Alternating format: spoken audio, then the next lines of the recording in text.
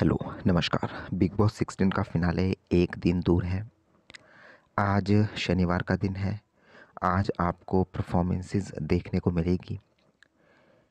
आने वाले ये दो दिन बहुत ही एक आप कह सकते हैं इमोशनल भरे होने वाले हैं फैंस के लिए भी और बिग बॉस के कंटेस्टेंट के लिए भी, क्योंकि इन ही दो दिनों में डिसाइड होगा कि कौन बनने वाला है बिग बॉस का रियल विनर मैं आपको बता दूँ कि शिव ठाकरे की जो फिनाले के दिन परफॉर्मेंस होने वाली है उसकी कुछ क्लिप्स सामने आई है।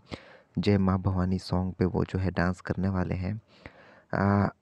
और अब आपको मैं आज एक अपना ओपिनियन ओपिनियन देने वाला हूँ।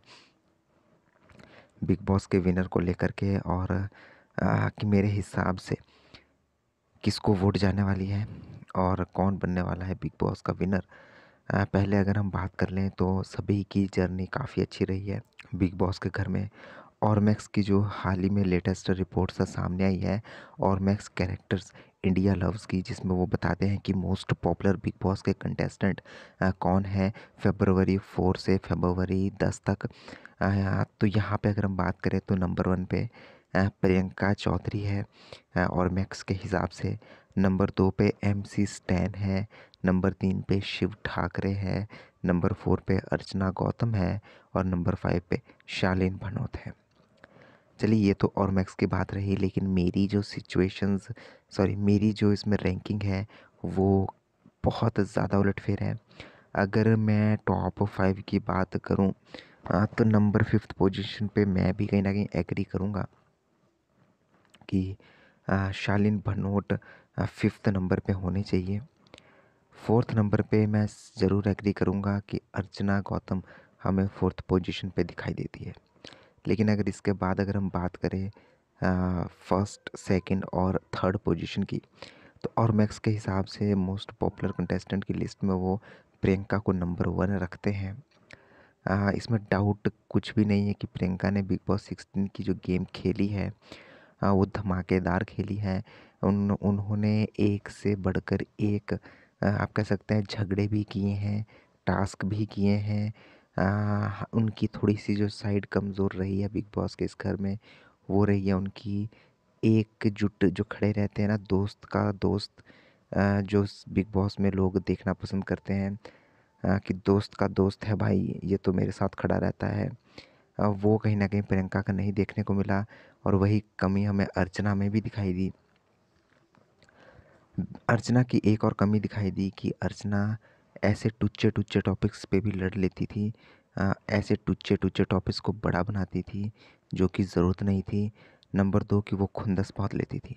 शालीन का फिफ्थ पोजीशन पे शालीन इसलिए है क्योंकि शालीन ने पूरी गेम ही फेक बन कर के खेली है। अब वो कहते हैं कि मैं प्राउड करता हूँ, मैं तो एक्टर हूँ, मैं वो हूँ। शायद वो समझना नहीं चाहते कि उनको ऑडियंस क्या बताना चाहती है। उनको ऑडियंस बताना चाहती है कि तुम एक्टर हो ये तो चलो प्राउड फील करो, लेकिन तुमने गेम फेक खेली है, वो मत प्राउड करो। अब बात करते प्रियंका की तो प्रियंका की जैसे मैंने कहा, बहुत सारी खूबियाँ हैं, जिस माइंड ब्लोइंग उनका कंसंट्रेशन जो प्रियंका की है ना, किसी भी चीज़ को लेकर के वो ज़बरदस्त है। अगर प्रियंका को कुछ काम करवाना है तो करवाना है। उनका मुकाबला मुझे लगता है इस मामले में सिर्फ़ एक ही कर सकता है, वो है शिव ठाकरे, क्योंकि शिव ठाकरे को भी माइंड में जो उन्हें करवाना है, काम वो उन्हें करवाना है, चाहे जो मर्ज़ी हो जाए, वही प्रियंका का भी है। प्रियंका का थोड़ा सा नेगेटिव साइड जाता है। उनके बिहेवियर पे जिस तरह से वो बात करती है जिस तरह से वो थोड़ा सा चिढ़ जाती है, एक गुस्सा होता है, जो अलग होता है, जो सभी को आता है। एक होता है चिढ़ना जो कि काफ़ी कम लोग होते हैं जो चिढ़ते हैं किसी दूसरे से, लेकिन प्रियंका थोड़ी सी चिढ़ भी जाती थी बीच पे तो मुझे लगता है वो कहीं ना कहीं लोगों को उतना ज़्यादा उनका पसंद नहीं आया है। इसलिए मैं प्रियंका को जो है वो थर्ड पोजीशन पे रखूँगा। फ़र्स्ट टू के लिए अभी भी मैं यही कहूँगा कि कि मेरी प्रेफरेंस बिग बॉस में कंट्रोवर्सी को लेकर के कभी नहीं होती है। ऑफकोर्स बिग बॉस में विनर वही बनता है जो ज़्यादा कंट्रोवर्सीज से जुड़ा हो। मेरे लिए बिग बॉस में विनर वो बनना चाहिए जो कि रियल रहा हो जिसकी डिसीज़न में क्लियरिटी हो जो कि लास्ट तक आते आते तक जो है, अपनी बातों पे डटा रहा हो।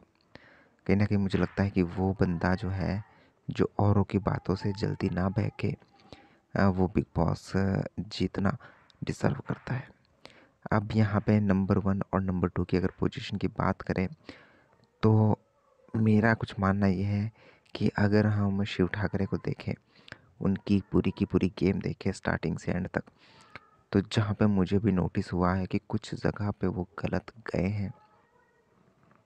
चाहे वो निमृत को लेकर के हो चाहे वो एम सी स्टैंड को लेकर के हो मतलब काफ़ी जगह पे ऐसा हुआ है जहाँ पे वो थोड़े से ओवर चले गए हैं। लेकिन शिव ठाकरे की ज़्यादातर साइड्स अच्छी ही हैं क्योंकि शिव ठाकरे एक सुलझे हुए खिलाड़ी हैं। वो जिस तरह से अपना हार्ट प्योर रखते हैं, गेम खेलते हैं, वो लोगों को बहुत ज़्यादा पसंद आता है। शिव ठाकरे जिस तरह से टास्क भी करते हैं, उसमें भी एक होता है ना कि प्योरिटी सी बनी रहती है तो वो लोग ज़्यादा पसंद करते हैं। जिस तरह से वो घर के अंदर लीडरशिप क्वालिटी रखते हैं, दोस्तों को एक साथ इकट्ठा रखते हैं, वो ज़बरदस्त है। लेकिन मुझे लगता है कि ये ये जो सारी चीज़ें हैं, ये कहीं ना कहीं एक विनर खिलाड़ी में होनी चाहिए जो कि शिव ठाकरे में है। लेकिन फिर भी मैं शिव ठाकरे को इस समय नंबर टू पर रखना चाहूँगा। अब यहाँ पे मैं ये नहीं कह सकता कि शिव ठाकरे विनर नहीं बन सकते। शिव ठाकरे में विनर बनने के पूरे पूरे चांसेस है और मैं ये भी नहीं कह सकता कि शिव ठाकरे विनर नहीं बनेंगे। मुझे लगता है कि एम सी स्टैन जो है उन्होंने अभी तक प्योर, बिल्कुल प्योर जिसे कहते हैं ना, वो गेम खेली है। वो जिस तरह से किसी के भी मुँह के आगे हैं, चाहे उनका दुश्मन हो, चाहे उनका दोस्त हो, पीठ पीछे भी वो बिल्कुल ऐसे ही दिखे हैं पूरी के पूरी गेम में। उन्होंने पहले कहा कि झगड़ा करना होता, मेरे को सिर्फ़ टीवी में ही दिखना होता तो मैं दिख जाता। उन्होंने एक एग्ज़ाम्पल भी दिया था कि मैं झगड़ा इस बात पे भी कर सकता हूँ कि यहाँ पे ये कप क्यों रखा है चाय का? मेरे पैर में लग जाता है, ये कप तो मेरा पैर टूट जाता। इस तरह से भी मैं झगड़े बना सकता हूँ जिस तरह से अर्चना और प्रियंका बनाती है। लेकिन मैं वो नहीं करना चाहता क्योंकि मुझे सिर्फ़ पॉपुलर नहीं होना है। ये कहीं ना कहीं एक ग्रेट उनकी बात मुझे लगी। जैसे कि प्रियंका जो थी, उन्हें पॉपुलर होना था। उन्हें फ़र्क नहीं सॉरी प्रियंका नहीं, अर्चना।